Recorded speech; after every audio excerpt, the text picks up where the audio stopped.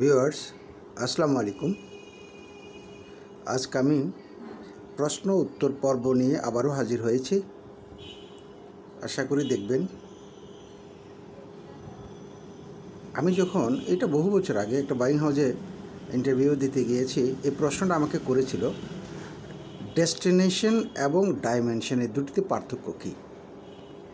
তো আমার, আমি যে উত্তর দিয়েছি, এই উত্তরটাই এখানে লিখেছি, ওটা পারফেক্ট হয়েছে, এটা ওদেরই ভাষ্য।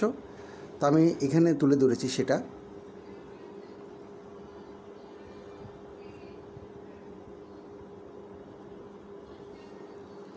এটাও একটা প্রশ্ন ছিল, এটাও করেছিল আমাকে।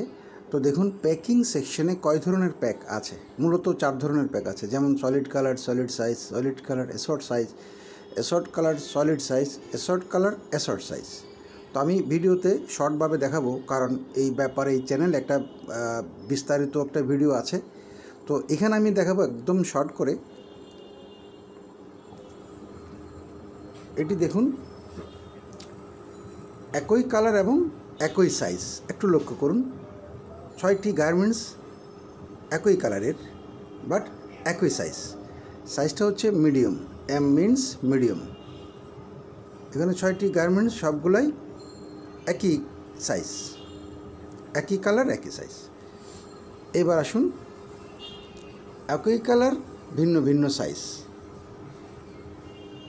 একই কালার ভিন্ন ভিন্ন size solid colour assort size এটাকে বলে। যেমন এটা স্মল এটাও স্মল আবার উপরেরটা হচ্ছে মিডিয়াম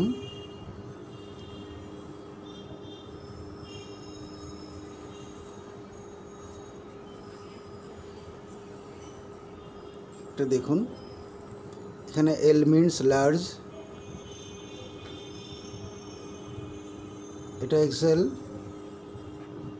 এখানে এখানে দেখুন, এখানে ছয়টি গার্মেন্টস কালার একটাই। এই দেখুন, ভিন্ন ভিন্ন size solid colour assort size এই প্যাকটাকে বলা হয়।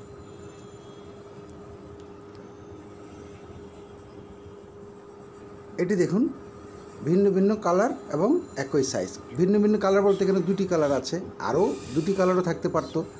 তো সাইজ কিন্তু সব একই। স্মল স্মল স্মল স্মল দেখুন। তো এটাকে আমরা কি বলব? শর্ট কালার সলিড সাইজ এটা এখানে দেখুন, ভিন্ন ভিন্ন কালার, ভিন্ন ভিন্ন সাইজ সাইজ কিন্তু ডিফারেন্ট ডিফারেন্ট তো এটাকে আমরা বলব অ্যাসর্ট কালার অ্যাসর্ট সাইজ আপনারা বিস্তারিত জানতে চাইলে এই চ্যানেলে একটা ভিডিও আমার দেওয়া আছে, ওখানে কাইন্ডলি একটু দেখে নেবেন।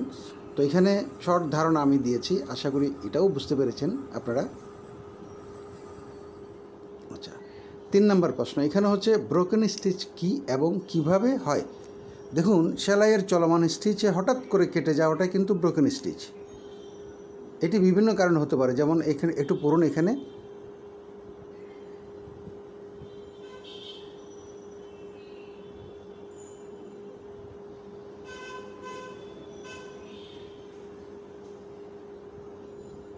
এই দেখুন, চলমান স্টিচের মধ্যে হঠাৎ করে কেটে গেছে। আবার লাভ দিয়ে এখানে আবার স্টিচ শুরু হয়ে গেছে। দেখুন। এবার প্রাইজ স্টিকার এবং প্রাইজ টিকেটের মধ্যে পার্থক্য কী? এটি একটি গুরুত্বপূর্ণ প্রশ্ন, এটা করতে পারে। তো, ভিডিওটি দেখবেন। এখানে ভিডিও দেওয়া আছে।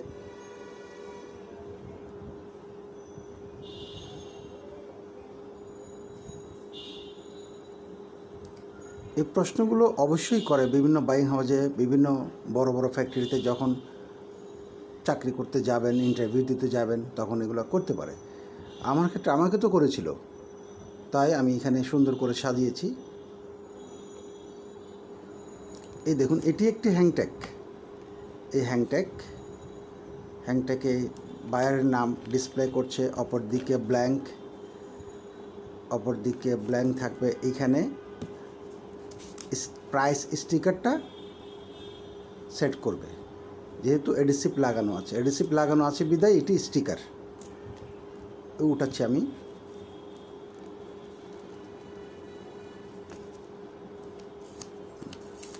এখানে এই লাগালাম। এই লাগালাম। তো এখানে হ্যাং ট্যাগের মধ্যে প্রাইস স্টিকারও অ্যাড করা আছে। মানে করেছি। এই দেখুন স্ট্রিংটা উপরে স্ট্রিংটাও আছে। এই এখানে, এই যে অল ইনফরমেশনও দেওয়া আছে এখানে দেখুন বারকোডে তারপর এটি হচ্ছে প্রাইস টিকেট অল ইনফরমেশন এখানে দেওয়া আছে। যেভাবে প্রাইস স্টিকারে ইনফরমেশন ছিল। পিছনে ব্ল্যাঙ্ক এটা এভাবেই থাকবে ব্ল্যাঙ্কই থাকবে। হ্যাংটেক যেভাবে থাকবে এইটাও এখানে হোল আছে একটা দেখুন। হ্যাংটেকের মতো এটাও স্ট্রিংয়ের মাধ্যমে ঝুলানো থাকবে।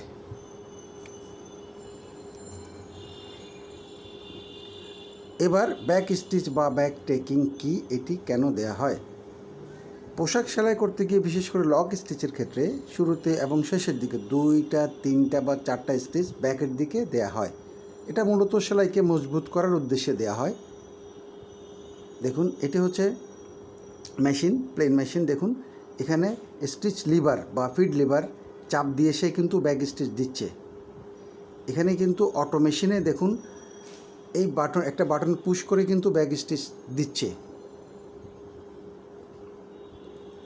এখানে সার্কেল করা আছে, আমি সার্কেল করেছি রেড মার্ক দিয়ে, এটা হচ্ছে এই সার্কিট এখানে সব সেট করবে এখানে।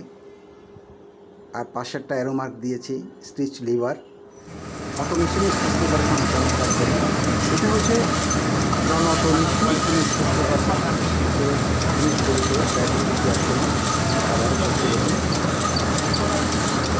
এবার অটো মেশিনটা দেখুন সে